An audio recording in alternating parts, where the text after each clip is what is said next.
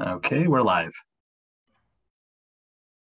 Five, four, three, two, one. Committee on Legislation, Tuesday, December 7th, 2021.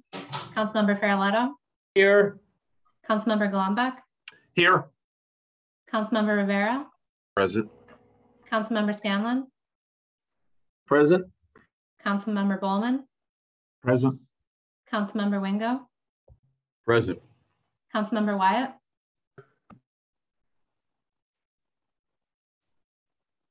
Quorum is present.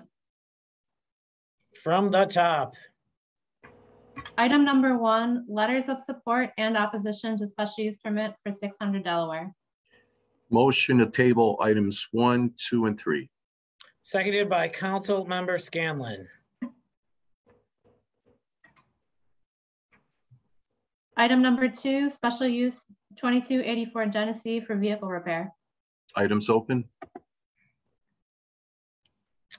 Um, this items, it looks like items two. I'm sorry, Bethany, did you call out item two? Because the majority leader made a motion to table one through three. So. I'm sorry, yes. Okay, so if you can just recall item number four, please. Item four, food store license 1245 Bailey. Items open.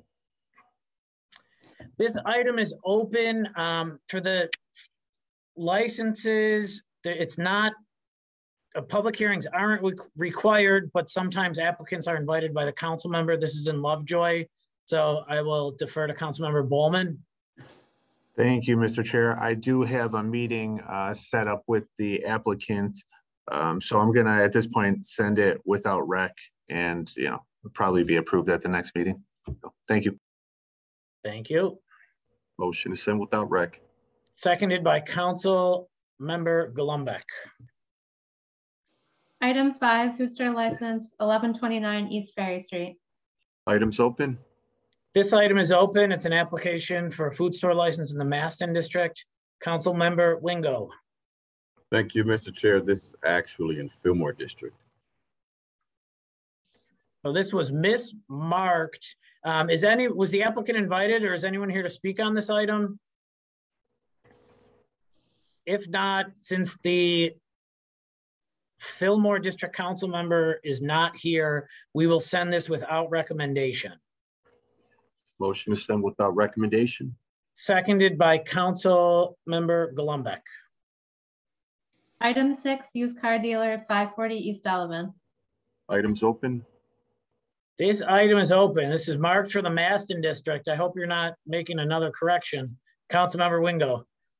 No, uh, this item uh, should be marked for approval with conditions. Motion to approve with conditions. Seconded by Councilmember Scanlon. Item seven, used car dealer 271 Dingens Street. Items open. This item is open. It is in the Lovejoy District. Councilmember Bollman. Yes, uh, thank you, Mr. Chair. At this point, I'm just working with the applicant and the owners uh, regarding, um, you know, the inspection and going through that process. So I'm going to keep this on the table for another couple weeks and, and we'll pull it at that point once I get clearance from our inspector. Thank you. Motion to table. Seconded by Council Member Golombek. Item eight, ordinance amendment of chapter 175 and 307 for parking garage structure license. Motion to approve. Seconded by Councilmember Golombek. Take from the table items nine, 14, 15, and 46. Seconded by Councilmember Scanlon. Item nine, local landmark 3157 and 71 Tonawanda Street, Fedders Manufacturing Company Factory. Items open. Um, do we have to open the public hearing first? Motion open the public hearing. Seconded by Councilmember Golombek. So we have a few public hearings today. I usually say this at the beginning of the meeting, but I didn't. Each speaker is invited to speak for up to three minutes on each item. So is anyone here to speak on this item? Uh, Good afternoon. Um, I'm Kerry Traynor. I wrote the local landmark nomination. Um, it is supported by the owner of the buildings. Um, the property meets three, four of the local criteria uh, for listing. Um, it is also going before the state board review tomorrow for listing on the National Register. Thank you. Is there anyone else here to speak on this item? Councilmember Golombek. Thank you, Mr. Chair. Um, yeah, I want to speak in favor of this as well. Um, I've been in touch with uh, uh, the owner, uh, his attorney, uh, and other residents in the neighborhood that are all supportive of this. I have not received a single call uh, or email uh, of anybody that has any concerns about this. Um, it's actually, in my opinion, one of those positions where they're going to be able to um, get more funding in the future because of its designation. And this is going to help us to continue to redevelop that Tonawanda Street corridor between roughly Niagara Street and uh, Amherst. So um, I, for the record, am supportive of this as well. Um, and I want to thank everybody that was involved in this uh, um, in this proposal from the very beginning. Thank you. Would anyone else like to speak on this item? Okay, then we will close the public hearing. Motion to close the public hearing. Seconded by Council Member Golombek, Motion to approve. seconded by Council Member Golombek. Item 14, zoning map amendment 46, 68, 70, 74 Leland from N3R to DIL zone. Motion to open the public hearing. Seconded by Council Member Scanlon. This item is open. Do, is there anyone here who would like to speak on this item? I see Suzanne Risman. Yes, hi, Suzanne Risman. I'm here on behalf of Lactalis American Group, um, the company that made the application for the zoning map amendment. Um, we originally uh, submitted an application to change the zoning from residential to light industrial. We did this uh, to be consistent with our property, which is a manufacturing facility directly across the street. Um, if approved, the zoning map amendment will allow us to build what we're calling a sensory building um, and add employee parking and visitor parking. This will help clear up congested parking, um, on-street parking for the neighbors, um, take our employee parking off the streets. If you would like, we can walk through very quickly the contemplated project. I know the project itself is not before the council today. It's the zoning amendment, but to give you a quick idea of the contemplated project, if we could just walk, um, open the, um, the site plan, should be slide one, maybe. Yep. So this is the proposed site plan if the zoning amendment is approved. Um, along the bottom half of this slide is all of the property that Lactalis owns. It's outlined in the green space. The rectangular um, buildings on the lower right-hand corner. Um, the first one closest to the right is a auto collision shop right on South Park Street. The rectangular um, building be behind that, it would be our contemplated um, sensory building. Today, what is there is an abandoned uh, residential um, single family home. That home would be raised and in its place, the sensory building would be built. It's a one story building. It's just under 5,000 square feet. Um, it will hold um, a commercial kitchen, um, a sensory panel room for our sensory panel experts to taste um, um, our products that are manufactured across the street. And then, of course, the parking that you see on the site plan as well. A couple things to note on the site plan. Um, the retention pond is required for code. That is, um, and we're also keeping all of the green space that you see indicated on the site plan Um, that will be used as a picnic area for um, our employees. The um, retention pond and the greenery, the location of that was um, done particularly to keep the parking as far away from the neighboring residential properties as possible. Um, so that we can provide a nice buffer between what would be parking um, and the, the back of the residence on um, Dallas. Another thing to note on this site plan are the three um, the three rectangular um, buildings that you see on um, the left side of the screen, about in the middle of the the the slide. Those are three parcels that we own as well.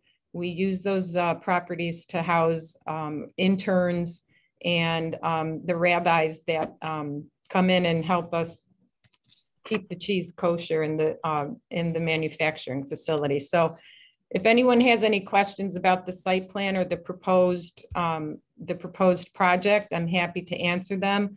But other than that, because this is not on the agenda today, I would like to go back to the rezoning request, which is the item that we're talking about today. So happy to Thank you answer. for your comments. What we'll do is give all of the speakers an opportunity to speak. And if there's any questions at the end, um, we'll go back to you and see if there's anything else that needs to be addressed. Okay, I- Councilmember, Councilmember Scanlon? Thank you, Mr. Chair. Um, I know there are some people here from the neighborhood that- who want to speak, but um, I just wanted to thank Suzanne for coming in and doing the presentation. Um, a couple quick questions for her as well. Um, Suzanne, you mentioned originally the, re- the request was for a change in zoning to light industrial. I know some of the neighbors had concerns about that, um, that, that zoning, um, abutting their properties. And it's my understanding that you're downgrading that request to a flex, right? That's correct. So prior to submitting the application um, request, we had um, informed the neighbors of the request. Uh, This was done with an explanation, um, a written explanation in a letter. There was a packet that we put together, delivered it to all of the residential homes along Dallas and Zolars because they would be the um, residents um, that are immediately impacted um, by the change. So inside that, pa- that packet, we included a cover letter that explained this contemplated project that I just talked to you about. Also sent um, some rendering um, photos of the contemplated project. Since informing the neighbors, I was contacted by Mr. Macri, Mr. and Mrs. Macri, who um, indicated that they represented the neighborhood or the neighbors.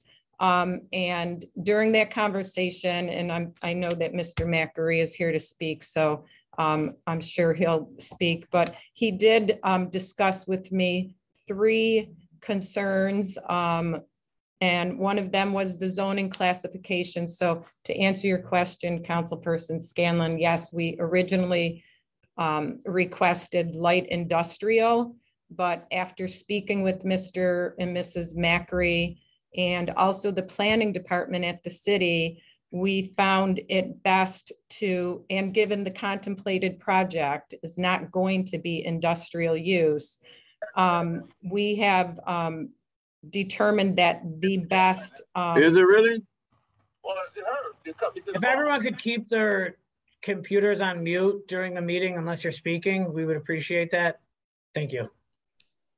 So, um, thank you. Um, after speaking with the planning department, the best classification, um, to address Mr. and Mrs. Macri and the neighbors' concerns would be a DC, which is flex commercial. Um, we don't intend to use the property, um, for industrial purposes.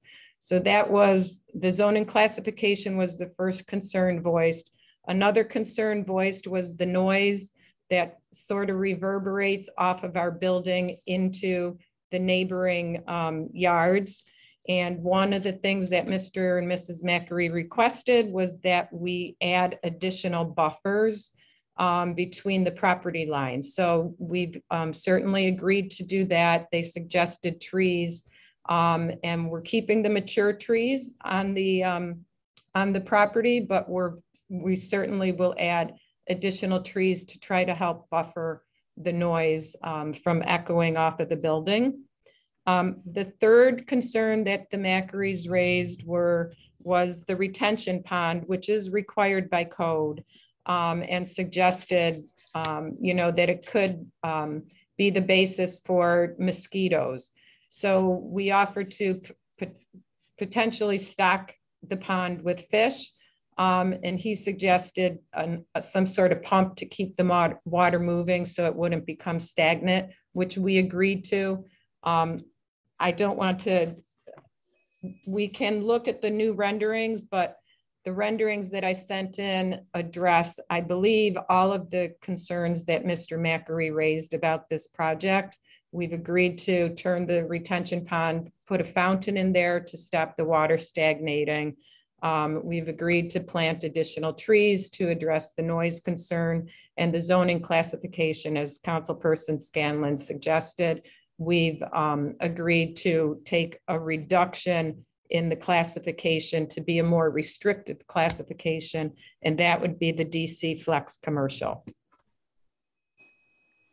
Thank you. Um, I had I got and I asked about the zoning, and you, you tackled the other two questions I had. So, um, Mr. Chair, at this time, I have nothing else. I know there's residents here that want to speak. If anything pops up, I may pop back on at the end. All right, thank you. So I could see some people, some I can't, so I'll try to call on everyone, but if I don't, you can just chime in and start speaking. Judy, I saw you, it looked like you were waiting to speak. If you wanna just unmute your computer first, and then you can go right ahead.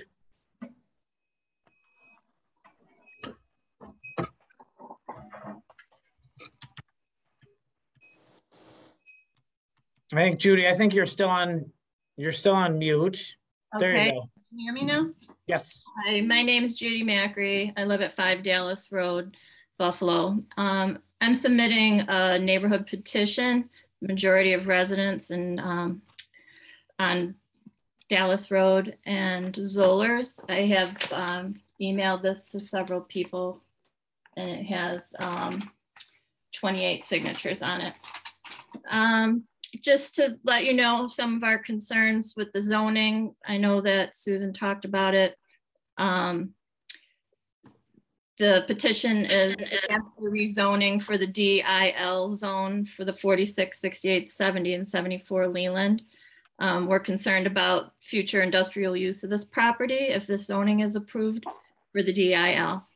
Um, we have, due to past practices of the company, we are very concerned that something down the road could happen and we will have no say so in, in future development on the site. Um, this property borders most of these residents um, and would affect property values negatively. Um, in the past, we were told an employee parking lot would be constructed when tractor trailers were housed there and um, staged in an area. So we had similar incidents where they said it was going to be employee parking. We're concerned that this will happen again and refrigerator trucks would be running and parked in our backyards. So again, we are against that zoning. So if it's if it's changed, we're not familiar with the DC flex zone. We will familiarize ourselves with what that code is. Um, she touched on our other concerns, which would be the noise from the parking lot, the three shifts of employees, snow plowing, et cetera. Um, buffering that noise due to plants or berms or something along the lines of that. Um, the pond area, um, what water source is feeding this pond, the aeration we talked about. Um, will there be fencing due to this is in a neighborhood with kids? Um, will there be some sort of fencing for safety reasons around the pond? Um, and just to say that in the past we've coexisted with the company and um, like I said, we look beyond the scope of the current project to what could happen down the road for our neighborhood and concerns with that zoning being approved for light industrial. Um, and we have many high noise concerns in this area that exist with air quality issues as well.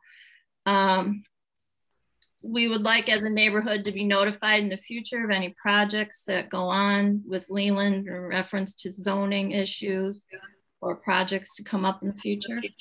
And I just want to thank you for your time. Thank you. Is there anyone else who would like to speak on this item? Nick, if you want to just unmute yourself before you start speaking, that would be great. Okay, my name's Nick Macri, 5 Dallas Road. Uh, Appreciate my wife uh, covering a majority of this item. Um, In the future, we'd like to get together with Councilmember Scanlon and Susan Risman and uh, address our other concerns in the area, and- and hopefully we can resolve and work with them together on this project and uh, get it taken care of. All right. Uh, Thank you, Nick. Is, is there anyone else that would like to speak on this item? I don't see any other faces and everyone else is on mute. So if you would, please chime in now. Mr. Chair. Councilmember Scanlon. Thank you, Mr. Chairman. Um, just so Suzanne's aware, I spoke with the, the Macris this afternoon on the phone, and I would like to get together with Suzanne and some people over there to discuss some of the ongoing concerns they have, um, maybe later this week or first thing next week, which I, I know Suzanne's amenable to. So, um, I look forward to continuing to working with both the representatives at Lactalis and the neighborhood to make sure that we're all on the same page here. Okay, thank you. Thank you. Motion to close public hearing. Seconded by Councilmember Scanlon. Uh, Would you like to table this? This is being sent without recommendation. Um, we, we still, um, I believe our chief of staff is on, we still require the negative deck to be filed. Um, so we can send without recommendation while we continue to work with the neighbors and the representatives at Lactalis between now and next week. We'll have that negative declaration filed for next Tuesday's meeting. Okay. And I will follow up with the neighbors and the representatives over there as well. Motion to send without recommendation. Seconded by Council President Pridgen. Item 15, special use permit 494 Elmwood for tavern and N2C zone. Motion to open a public hearing. Seconded by Council Member Golombek. This item is open. This is for four ninety-four Elmwood Avenue. Is anyone here to speak on this item? No, yes? If, if anyone's here to speak on this item, if you can take your uh, computer off of mute.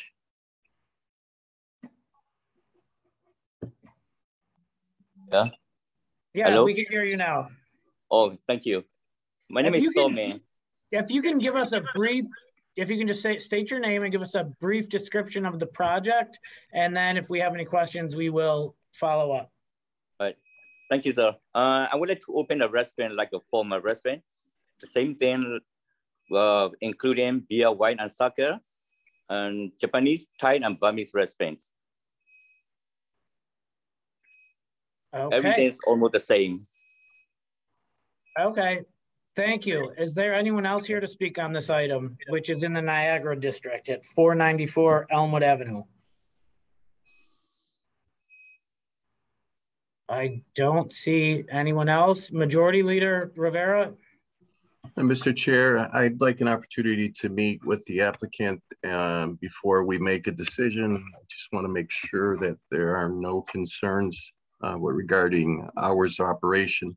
Um, I don't have any objections right off the bat, so we're going to close the public hearing and then send it without recommendation. Okay, motion is to close the public hearing, seconded by Council Member Golombek. Motion is to send without rec, seconded by Council Member Scanlon. Thank you. Item 46, special use permit 682 Abbott Road for tobacco sales. Motion is to deny. Seconded by President Pro Temp Scanlon.